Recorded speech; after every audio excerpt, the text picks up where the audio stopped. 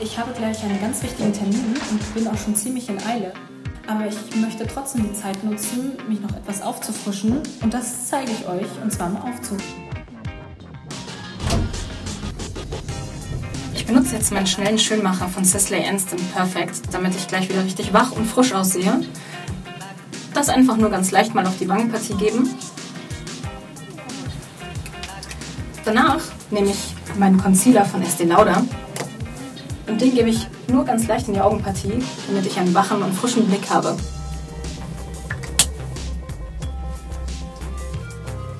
Mein Lieblingslipgloss von Clinique, Chubby Chick, trage ich ganz leicht auf, damit es etwas natürlich aussieht, aber nicht zu viel wirkt. Und zum Schluss fixiere ich das Ganze und zwar mit Clarins Fix Make-up.